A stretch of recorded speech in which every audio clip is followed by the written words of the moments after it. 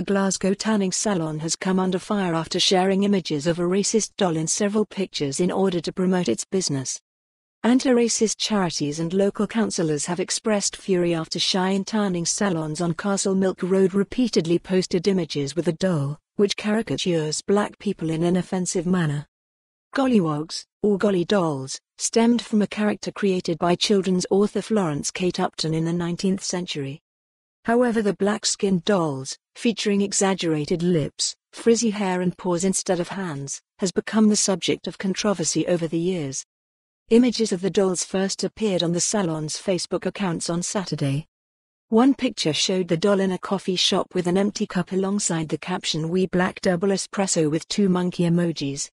A third image had the doll, which the owner has called Sooty laid back on a tanning bed with the caption hashtag black 2 white in reference to the white to black tanning lotion beside the figure. Read more, Cancer Research UK shop in Govanhill displays Golliwog doll. Charity show Racism The Red Card Scotland have since hit out at the horrid items.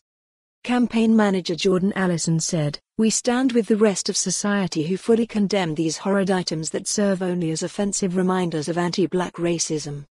Education remains key in ensuring these are consigned to history.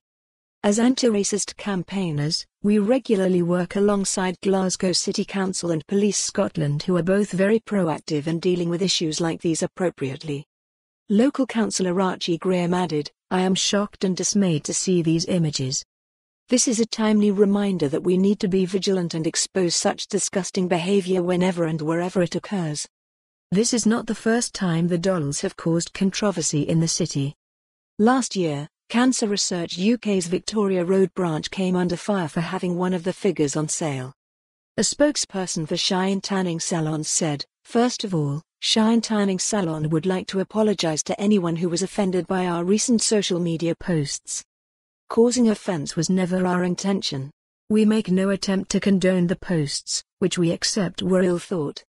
Shine Tanning Salon is a multicultural salon, owned by a family with Kenyan and Indian heritage, so is very aware of the effects of racism, and casual racism, in society. Again, we can only reiterate that this was never our intention, it was a lazy attempt at humor, which we accept has caused people offense.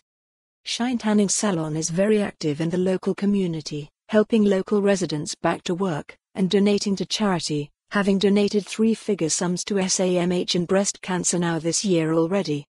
We hope that the Glasgow pub for more on this story, visit the news article link.